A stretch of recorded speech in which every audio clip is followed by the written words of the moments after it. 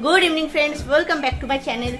তো আজকে হচ্ছে শুক্রবার। আজকে শুক্রবারের ইভিনিং থেকে ব্লগটা স্টার্ট করছি তোমাদেরকে সাথে নিয়ে। তো তোমরা আজকে দুপুরে একটা ব্লগ পেয়েছ সেটা হচ্ছে আমাদের ট্রাভেল প্ল্যানিংটা তোমাদের সঙ্গে শেয়ার করে নিয়েছি। জানো যে সেই আনন্দের খবরটা কি হতে চলেছে বা কি? এই খবরটার জন্য অপেক্ষা করছিল, সেটা আমাকে আজকের আগের ব্লগে জানিয়েছো যে অপেক্ষা করছি ওয়েটিং এইভাবে। তো তার জন্য ভেরি সরি যে আগের দিনের ব্লগটা কমপ্লিট করতে পারিনি বলে আজকের ব্লগে তোমাদের সবটা বলে দিয়েছি। মানে আজকে যেটা তোমরা পেয়ে গেছো, ঠিক আছে? তো সেখানে তোমাদের আমাদের যে প্ল্যানিং চলছে সে সম্বন্ধে বলেছি। আমার হেয়ার কাট দেখিয়েছি সবটাই আর কি ডিসকাস করে নিয়েছি। এখন আর তোমাদের মধ্যে কিছু না জানা নেই। আর খুব ভালো লাগে তোমাদের কমেন্টগুলো পেলে যে তোমরা অনেকে ওয়েট করে বসে আছো। আমি বেড়াতে যাওয়ার আগে এই গোছগাছ করা প্ল্যানিং করা, কি নেব, না নেব, এই নিয়ে সারাদিন একটা মাথার মধ্যে চিন্তা ভাবনা ঘুরতে থাকে। তো সেই নিয়ে যেন সারাদিন একটা আনন্দের সাথে কেটে। তো সেই জন্য একটা ব্লগ পোস্ট করে দিয়ে, সাথে সাথে তোমাদের সঙ্গে আরেকটা ব্লগে দেখা করার জন্য চলে আসলাম। আমার হাতে চলে এসেছে শীতকালের উপযুক্ত খাবার। সেটা হচ্ছে এই দেখো। কফি। কফি নিয়ে বসে পড়েছি। বেশ গরম। তো এই যে বেড়াতে যাওয়ার যে নেশা বা বেড়াতে যাওয়াটা যে ভালো লাগা, সেটা আমার অ্যাকচুয়ালি মানে তৈরি হয়েছে আমার হাজব্যান্ডের জন্য।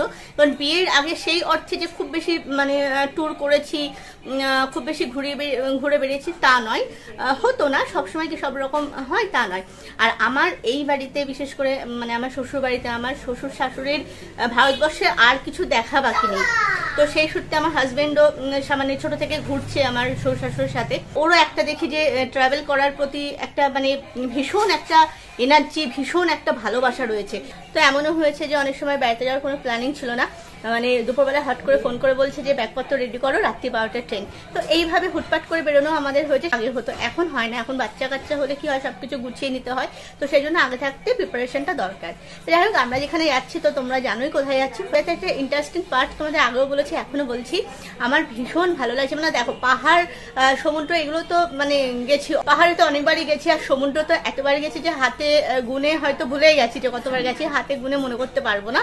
তো এই যে জঙ্গল আহ, যে জঙ্গল সাফারি বা ধরো জঙ্গলের মধ্যে যে ওই হুট খোলা জিপসি নিয়ে ঘুরে বেড়ানো এই জিনিসটা কিন্তু আমাদের সবার লাইফের ফার্স্ট টাইম আর তার থেকেও খুব ভালো লাগে বেশ ভোরবেলায় হালকা হালকা ঠান্ডার মধ্যে উঠে মানে একদম সেই আলো ফোটা ভোর বলে না ওই টাইপের একটু অন্ধকার অন্ধকার থাকবে। ওই সময় মানে আমাদের সাফারির যে টাইম দিয়েছে ছটা তার মানে ধরো সাড়ে পাঁচটার মধ্যে ওদের ওই স্পটে পৌঁছে যেতে হবে। সাড়ে পাঁচটা মানে বেশ অন্ধকার তো ওই আলো ফোটা আলো ফোটা ভোরবেলায় সাফারি করতে বেরিয়ে যাওয়া হুটখোলা জিপসিতে অন্ধকার অন্ধকার রাস্তা দিয়ে, ঘন জঙ্গলের ভিতর দিয়ে, নিশ্চুপ জায়গা দিয়ে যেতে দেখবে একটা অন্যরকম একটা ফিলিংস হয়, তাই না?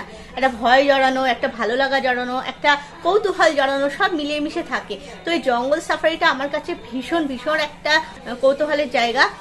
আর জঙ্গলে ঘুরে বেড়াতে কেনা চায় সবচেয়ে বড় কথা হচ্ছে ভয়ঙ্কর সুন্দর যেটা বলে মানে ভয়ঙ্কর পরিবেশের সুন্দর সৌন্দর্য, তাই না? তো ওর মধ্যে ঘুরে বেড়াতে কেনা চাই। তো তিনটে ব্যাপারে আমার ভীষণ কৌতূহল মানে দেখার খুব ইচ্ছা। সেটা হচ্ছে জঙ্গল সাফারি একটু বললাম। ভোর ভোর উঠে সূর্য উঠছে দেখা জঙ্গলের মধ্যে ঘুরে বেড়ানো নির্জন ওই একটা পাতা পড়লেও আওয়াজ ওই একটা গাছের ডাল পড়লেও আওয়াজ এইরকম একটা পরিবেশকে ফিল করা। এক নাম্বার। দু নম্বর হচ্ছে আমরা আম, জলদাপাড়া অভয়ারণ্য থেকে ব্যাক করব বনানী। বনানীতে ওখানে আমরা কটেজে দুদিন থাকব। তো কটেজটার ঠিক পাশেই না মূর্তি নদী আছে। তোমাদের একটু ডিটেলসে বলে দিচ্ছি। তো কটেজটার ঠিক পাশে মূর্তি নদী আছে। নদীটা মানে এতটাই খরস্রোতা মানে কুলকুল কুলকুল করে যে বয়ে যায় না একটা গুরুগম্ভীর আওয়াজ হয়। আর আমাদের যে কটেজটা আছে, সেটা একদম নদীর ধারে মানে লাগোয়া। যদি দোতলায় হয়, তাহলে রেলিং থেকে একদম মানে খরস্রোতা নদীটা সবসময় দেখা যাবে। তো সেই, কোন টাইপের ঘর পেয়েছে আমরা জানি না, গিয়ে বলতে পারব। আর যদি রুম থেকে দেখা নাও যায়, সামনে বিশাল একটা মানে মাঠ পার্ক টাইপের আছে, বাচ্চারা ওখানে খেলতে পারবে করতে পারবে, কিন্তু তার ঠিক পাশেই নদীটা দেখা যায়। তো বলে নাকি সারাদিন ধরে আওয়াজ শোনা যায়, নদীটার মানে বয়ে যাচ্ছে যে তার আওয়াজ। রাত্রিবেলায় নাকি সেই আওয়াজ আরও প্রকট হয়ে ওঠে, আরও মানে গুরুগম্ভীর আর কি আওয়াজটা হয়ে ওঠে।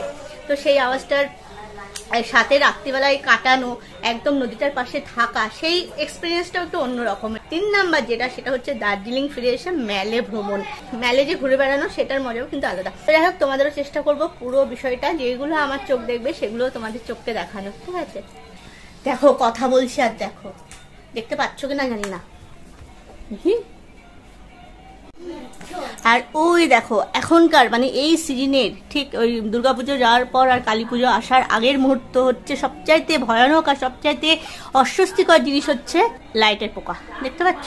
কথা বলছি লাইট জ্বালিয়ে আর কত পোকা ঢুকে গেছে। দেখো, সিলিং ভরা পোকা। সিলিং ভরা পোকা। এইদিকেও তাই, আর ওইদিকে একটা লাইট জ্বলছে, ওইদিকেও তাই, দেখো। পোকাদের জন্য কি ব্যবস্থা দেখো ব্যালকনির যে লাইট সেটা জ্বালিয়ে দিলাম, যাতে এই পোকাগুলো সমস্ত বেরিয়ে যায়। এখনও পর্যন্ত বেরোননি, ওনারা বসেই রয়েছেন লাইটের উপর। আর এখানে একটা ছোট্ট ডিম লাইট জ্বালিয়ে দিয়ে দিয়ে আমি ঘরে বন আমি ঘরে বন্দি, আর আলোতে রয়েছেন পোকামশাইরা। কি অবস্থা ভাবো? একটা লোক আসলে লাইট জ্বালিয়ে যে কথা বলব, তার তদারকি করব? একটা প্রতি বছর লক্ষ্য হয়ে যায়। এই ঠিক দুর্গা পুজো যাওয়ার পর পরে না পোকাগুলো যে লাইট দেখে বেরোয়, এবার তো চারপাশে লাইটগুলো সব অফ হয়ে যায়। তারপর ওনারা কি করবেন? ওনারা সব ঘরে দৌড়ে দোকানে ঘুরে বেড়ান।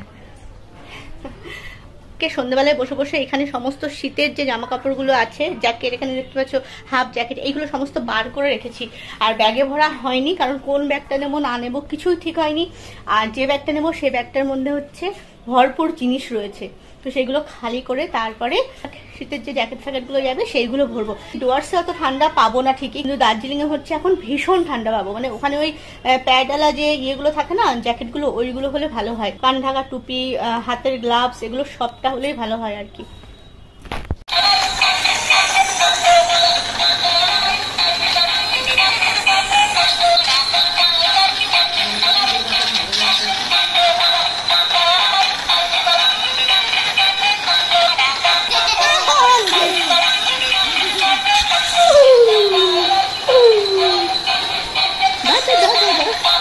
আজকে সকালে এই খেলনাটা ওর আম্মা এনে দিয়েছে। তো দেখো, এখান থেকে ভেঙে দিয়েছে। মাথার উপরে একটা ওই ফুল টাইপের জিনিস ছিল, যেটা খুললে চারপাশ দিয়ে লাইট পড়ছিল, তো সেটাকে ভেঙে দিয়েছে।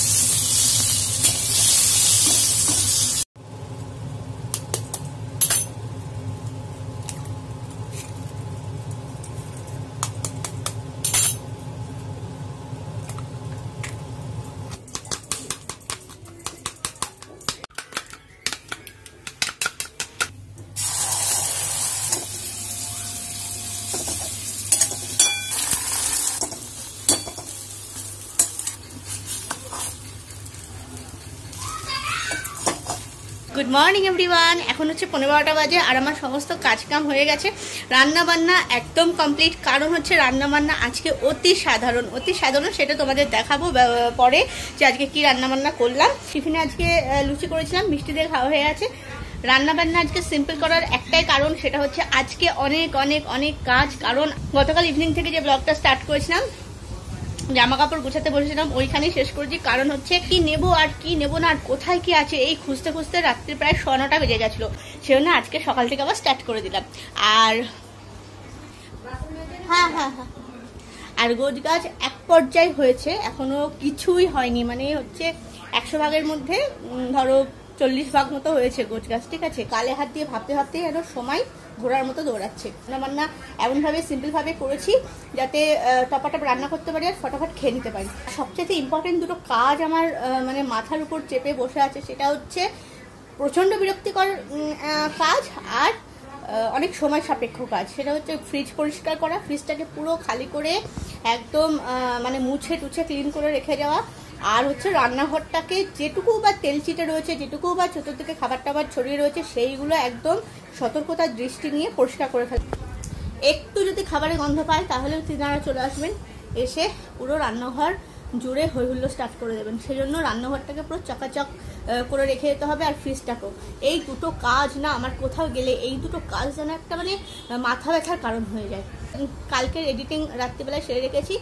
এইটুকু জুড়ে ফুড়ে দিয়ে আজকে চেষ্টা করব এটাকে পোস্ট করতে। আজকে যদি কোনোভাবে না হয়, তাহলে কালকে পোস্ট করব। তো যাই হোক। আর কালকে শাশুড়ি মা এসেছিলেন মানে ফ্রিজের মধ্যে যেসব খাবার দাবারগুলো বাইরে রেখে গেলে নষ্ট হবে, সেইগুলো শাশুড়ি মাকে দিয়ে দিয়েছি। অনেক কাজও ছিল। দশমীর দিন যে খাওয়া দাওয়া হয়েছিল, সেখানে চাটনি ফাটনি করা হয়েছিল। তো আম সত্ত্ব খেজুর তারপর হচ্ছে কাজু কিশমিশ সব ছিল ওইগুলো তো বাইরে রেখে গেলে নষ্ট হয়ে যাবে। তো শাশুড়িমাকে দিলাম। শাশুড়িমা নিয়ে গেল আর বলছে যে উম, ভাইফোঁটার দিন ওইগুলোকে কাজে লাগিয়ে দেবে। কারণ ভাইফোঁটার দিন আমার শাশুড়িমাদের একটা বড় করে আয়োজন হবে।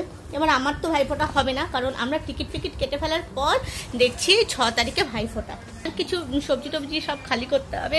মানে বদ্ধ ঘরে তো আর সবজি ওভাবে রেখে যেতে পারব না। তো সেই জন্য সবজি টবজিগুলো যতটা পারছি পটল প্রচুর আছে ভেন্ডি আছে এগুলো ভাজাভুজি হয়ে যাবে।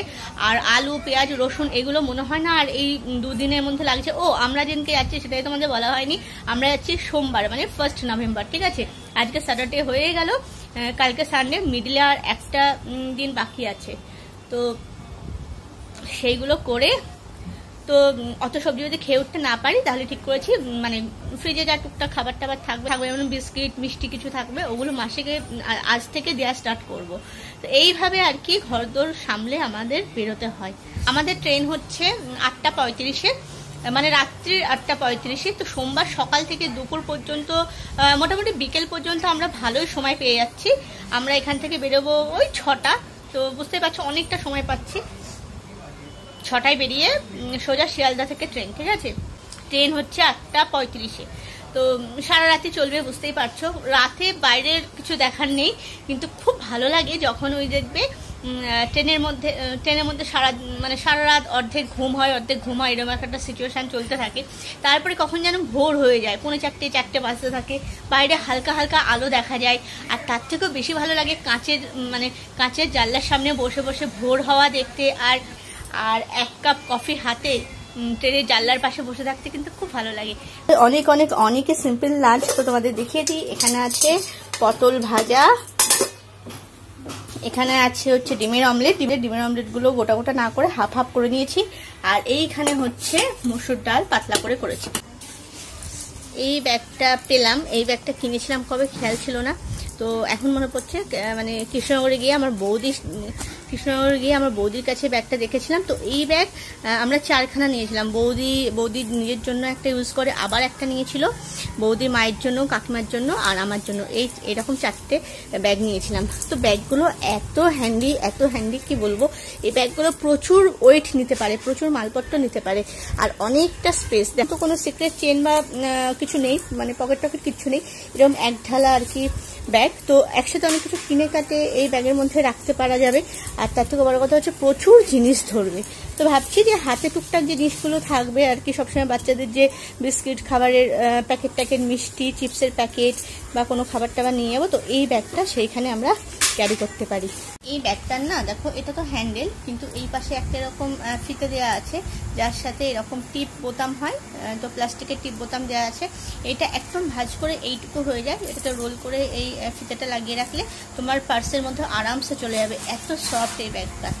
এত সফট এই ব্যাগগুলো তো এইগুলো ওয়াশেবল খুবই মানে ইজি টু ক্যারি করা যাবে। যাক এইরকম প্ল্যান করে করে নিচ্ছি।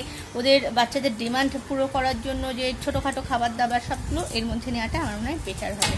এই আমার ইচ্ছা আছে, এর পরবর্তী যে দুটো ভিডিও আসবে, সেখানে হচ্ছে ছোট বাচ্চার সাথে গেলে তার মানে খাবার দাবার কি কি আমি নিই, বা ছোটো বাচ্চা সব ধরনের খাবার তো বাইরে খায় না। বিশেষ করে আমার ছোটো ছেলে, বাইরে সব খাবার তো খাবে না, তো ওর জন্য কি ব্যবস্থা আমি করে নিয়ে নিয়ে যেতে পারি? বা তোমরাও যদি আগামী দিনে বেড়াতে যাও ছোট বাচ্চাকে নিয়ে, সেখানে কী টাইপের খাবার দাবার তোমরা স্টকে রাখতে পারো? তো এই নিয়ে একটা ভিডিও আসবে। আর হচ্ছে আমার কসমেটিক্স কারণ বেড়াতে যাচ্ছি, ওখানে টুকটাক কসমেটিক্স তো লাগবেই। কসমেটিক্সের ব্যাগ আমি কীভাবে বা কীরকমভাবে গুছাই, সেইটা নিয়ে আরেকটা ভিডিও আসছে, ঠিক আছে? তাহলে আজকে ভিডিওটা এখানেই শেষ করি। এটা এখন আমি বসবো এডিট করতে। মোটামুটি এখন বেজে গেছে পনে এক, মোটামুটি এখন বেজে গেছে একটা। এডিট টেডিট করে চেষ্টা করব আজকেই পোস্ট করে দিতে। তাহলে তোমরা সবাই খুব ভালো থেকো, পাশে থেকো, সাথে থেকো। আর হ্যাঁ এরপরে ভিডিওগুলো কিন্তু অবশ্যই ওয়াচ করো, কারণ জানি তোমাদের অবশ্যই ভালো লাগবে। তাহলে চলো, টাটা।